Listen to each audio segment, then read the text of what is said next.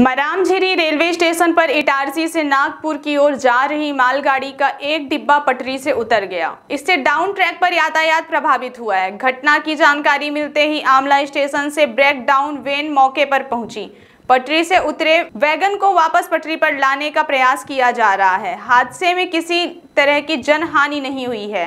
Railway सूत्रों से मिली जानकारी के मुताबिक इटारसी की ओर से भिलाई स्टील प्लांट की तरफ़ जा रहा लाइमस्टोन से भरी मालगाड़ी का एक डिब्बा आज शाम करीब छह बजे पटरी से उतर गया।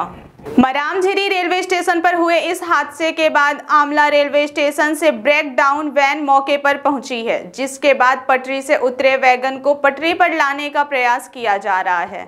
वैगन के सामने के दो चके व्हील्स पूरी तरह पटरी से उतरकर गिट्टी पर चढ़ गए। हादसे के रेलवे स्टेशन पर ही होने के चलते और वैगन प्रभावित नहीं हुए। इसी वजह इस रैंक की धीमी रफ्तार बताई जा रही है। इस दुर्घटना के बाद प्रभावित वैगन के पास की अन्य वैगन को दूसरे ट्रैक पर ले जाया गया, जहाँ इसे सुधारने का काम चल रहा है।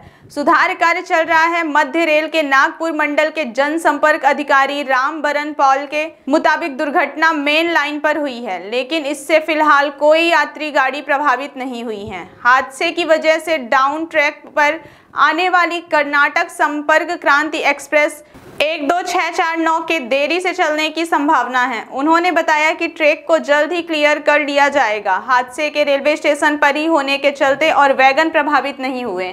इसकी वजह इस रैंक की धीमी रफ्तार बताई जा रही है। इस दुर्घटना के बाद प्रभावित वैगन के पास की अन्य वैगन को दूसरे ट्रैक पर ले जाया गया, जहाँ इसे सुधारने का काम चल रहा है। Bureau report Virat 24 news.